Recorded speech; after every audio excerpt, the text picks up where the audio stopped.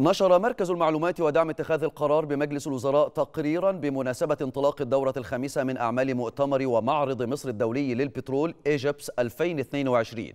وذلك في فترة من الرابع عشر إلى السادس عشر من فبراير الجاري تحت شعار شمال إفريقيا والبحر المتوسط ضمان إمدادات الطاقة. وسلط التقرير الضوء على الإشادات الدولية التي حظيت بها الجلسة الافتتاحية لمؤتمر إيجيبس 2022 بحضور الرئيس عبد الفتاح السيسي بشأن نمو قطاع الطاقة المصري حيث اتفق المشاركون على أن مصر باتت تلعب دورا محوريا في المنطقة في منطقة الشرق الأوسط في مجال إنتاج وتوزيع الطاقة.